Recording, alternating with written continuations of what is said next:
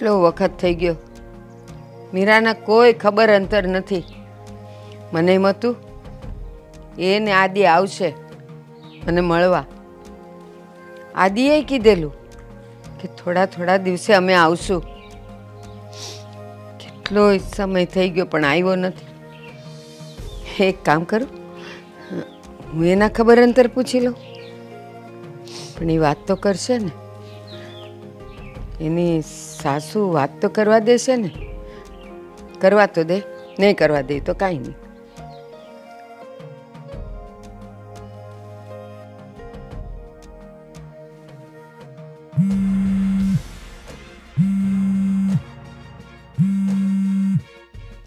Hello. Hello Meera? જય શ્રી કૃષ્ણ. જય શ્રી કૃષ્ણ બેટા. કેમ છે તું? સારું છે. તમને કેમ છે? મને ક્યાંથી સારું હોય? કેમ? શું થયું? બેટા જ્યારે જ્યારે લગ્ન જ્યારે લગ્ન થયા ને તું ને આદિ આવ્યા હતા ને મારા આશીર્વાદ લેવા હા.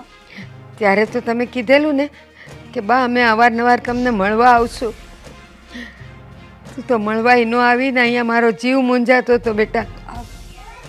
બા સોરી પણ તમે સમજી શકો ને મારી વાતને કે હવે મારા લગ્ન થઈ ગયા છે. લગ્ન થયા પછી મારી જવાબદારીઓ વધી ગઈ છે. એટલે હું ઘરની બહાર નથી નીકળી શકતી. હા મને ખબર છે કે તને બહાર ન નીકળાય તારા માથે જવાબદારી છે.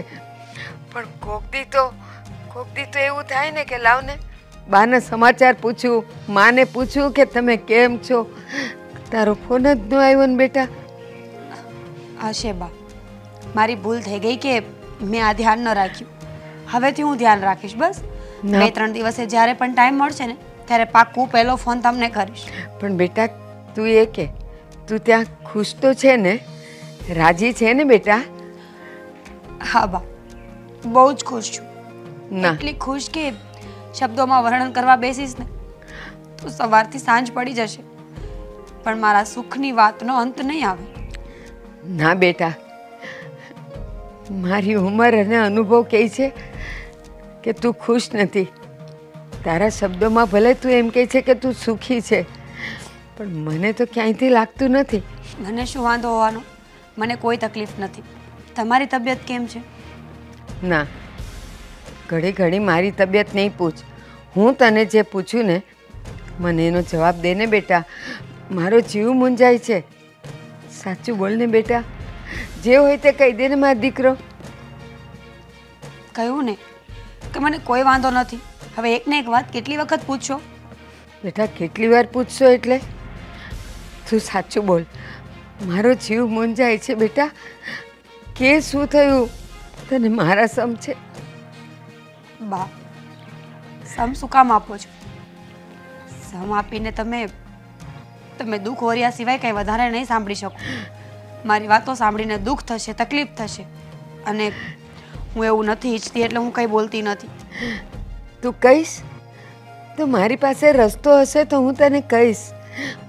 તારી મદદ કરીશ બેટા. બોલને બોલને શું થયું? બા સાચું કહું ને તો મેં મારી જગ્યા આ ઘરમાં ક્યારેય કરી જ નથી. હા? આ ઘરના લોકોને મારાથી નફરત છે. કોઈ મને આ ઘરમાં જોવા નથી માંગતું. બસ એક આદિનો સહારો છે. એમણે મારો હાથ જે દિવસે લગ્ન કર્યા ત્યારથી પકડ્યો હતો ને એવો ને એવો સાથ હજી સુધી આપ્યો છે. બાકી મારી આ ઘરમાં નોકરાણી કરતાં વધારે કોઈ જ કિંમત નથી. કીધું તું. કીધું તું મેં તને. અને ત્યારે તે મને એમ કીધેલું, મને મારા પ્રેમ પર ભરોસો છે. પણ તારો પ્રેમ તો તારી સાથે છ સાત આઠ કલાક હોય. બાકીના તો બધા કલાક તારે ઘરના વ્યક્તિઓ સાથે કાઢવાના હોય ને બેટા? પણ તું નહોતી માની. બા છોડો ને હવે. જીવન છે. હવે ઊંચ નીચ તો ચાલ્યા જ કરવાની. ચલો હવે હું ફોન રાખું? ના બેટા મારી આપણી પાસે બે રસ્તા છે. એક તો તું જે સહન કરે છે ને એ ખાલી સહન નહીં કર્યા કર. થોડી થોડી વાતો આદિને પણ કર. તો એને ખબર પડે કે એના ઘરમાં તારું શું સ્થાન છે. તને બચાવશે.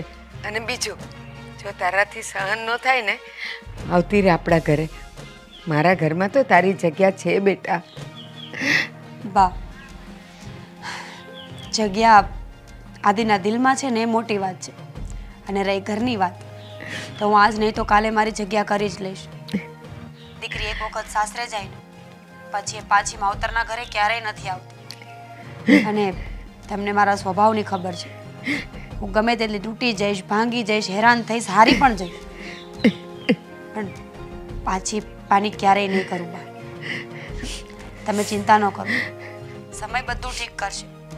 તમે જ શીખડાવ્યું છે કે જ્યારે કયો રસ્તો ના સૂજે ને, ત્યારે ચૂપચાપ આંખો બંધ કરીને બેસી રહેવું જોઈએ અંધારામાં. ક્યારેક ને ક્યારેક તો સૂરજ ઉગશે ને?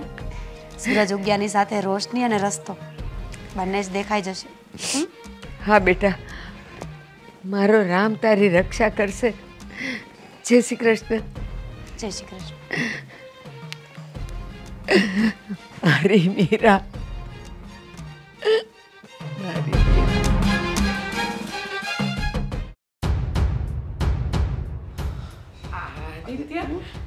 બેટા કશે બહાર જાય છે? અમને જણાવ્યું નહીં? અરે કેમ બોલતો નથી? બોલ ને. કોઈ કોઈ કામ માટે બહાર જાય છે કે ફરવા માટે બહાર જાય છે? હંમેશા માટે ઘર મૂકીને જાઉં છું. હા. જુઓ. અમે લોકો આ ઘરમાં રહેશું તો કદાચ તમે ક્યારેય મને કે મીરાને માફ નહીં કરી શકો. એટલે ઘર છોડીને જાય છે? હા. તમારાથી જુદા રહેવા માટે. તારા મમ્મી પપ્પાને છોડીને જાય છે? હા પપ્પા. કારણ તો તમને પણ ખબર જ છે ને કે હવે મમ્મી અને તમે મારી સામે તો બહુ સારી રીતે રહો છો. પણ હું જ્યારે ઘરમાં ન હોઉં ત્યારે શું થાય છે? એની જાણ થઈ ગઈ છે મને. એટલે તે અમારા દીકરાને અમારી વિરુદ્ધ ભડકાવી દીધો ને? હા? હા, ઘર છોડીને જવા માટે મજબૂર કરી દીધો ને? હા? હા, બેટા, તારી ખુશીના માટે અમે એને અપનાવી હતી ને. પણ ના પાડી હતી કે અમારી સામે નહીં આવવાનું. છતાંય છતાંય નાની નાની બાબતને લઈને અમારી આંખ સામે આવતી હતી. એને કહ્યું હતું કે તું તારું કામ કરતી રહેજે. અમને કોઈ વાંધો નથી. પણ એને તો અમારા પ્રેમ, લાગણી એ બધું જીતવું હતું. ને અમને એવા કોઈ પ્રેમ, લાગણીની જરૂર નથી. તો. એટલી સમજ ન પડી તને હા? હા. એને સમજ ના પડી એટલા માટે જ તો હજી પણ એ જીદ કરે છે કે આપણે મમ્મી પપ્પાને મૂકીને નથી જવું. બેટા તું કેમ સમજતો નથી? હે હે છે ને એના ભોળાપણનો ફાયદો ઉઠાવી અને તારી સાથે રમત જ કરી રહી છે. અને તું તું તું અમને છોડીને જઈશ તારા મા બાપને છોડીને જઈશ? હા. સમજી તો તમે નથી રહ્યા. માનું છું કે હું તમારી વિરુદ્ધ જઈને મેં મીરા સાથે લગ્ન કર્યા. પણ એને પણ એનું ઘર છોડ્યું છે. અને આ ઘરને પોતાનું ઘર માને છે. પણ તમે લોકો ક્યારે એને વહુ ન માની શક્યા? એણે હંમેશા એની પોતાની ફરજ નિભાવવાની કોશિશ કરી. તમને સસરા તરીકે અને તમને સાસુમા તરીકે ક્યારેય નથી ગણ્યા. હંમેશા મા બાપ જ ગણ્યા છે. પણ ના, તમને એ ન દેખાણો તમને તો એ જ દેખાય છે કે એ અભણ છે, એ ગવાર છે. એ લોકોની પરિસ્થિતિ સારી નથી ને આપણી જ્ઞાતિની નથી, પણ તું આને ન લાવી શકે. બીજું કંઈ જ નહીં. એક વસ્તુ તમારા મગજમાં ઘર કરી ગઈ છે તમે ભૂલી નથી શકતા. અમે લોકો તો તમારી સાથે પ્રેમથી રહેવા માંગતા હતા, જીવવા માંગતા હતા. પણ તમે લોકો મારી સાથે મારી સાથે તો રહેવા લાગ્યા. પણ આનો શું વાંક? આને તો હું લાવ્યો છું ને? એ પરાણે તો મારી સાથે નહોતી આવી. તમારા દીકરાની ઈચ્છા હતી, એટલા માટે એ મારી સાથે લગ્ન કરીને આ ઘરમાં આવી છે. તમે લોકો તો એને જ હેરાન કરો છો. અરે ભૂલ મેં કરી છે, તો મને હેરાન કરો ને. મારી સાથે જે કરવું હોય તે કરો. એનો શું વાંક છે? કંઈ નહીં. અને સાચું કહું છું, એ હંમેશા તમારું વિચારે છે કે ઘરના તમામ કામ હું કરીશ, મમ્મી નહીં. તમે કંઈ પણ કામ કરતા હો તો એ તમારી પાસેથી એ કામ લઈ લે છે. એ કંઈ સારું બનવાનું નાટક નથી કરતી. કે તમારી સાથે એને જલ્દી સારું થઈ જવું છે એવું કંઈ નથી. એ તો ફક્ત એ બતાવવા માગે છે કે હું તમારી દીકરી છું. અને તમે મને બસ થોડો પ્રેમ આપો ને, તો પણ હું જીવી જઈશ. પણ એવું ક્યારેય ન થયું. ના મમ્મી તરફથી કે ના તમારા તરફથી. એને ક્યારેય પ્રેમ નથી મળે. અને એટલા માટે જ મારે આ વિચારવું પડ્યું અને મેં નક્કી કર્યું છે કે હવે હું આ ઘરમાં નહીં રહું. એ મને કંઈ કહેવા જ નહોતી માગતી. અને એને ક્યારેય તમારા લોકોની ફરિયાદ પણ નથી કરી. પણ મને ધીમે ધીમે ખબર પડી ગઈ કે તમે લોકો મારા પછી મારા ઘરમાં ન હોવાના કારણે તમે એને હેરાન કરો છો.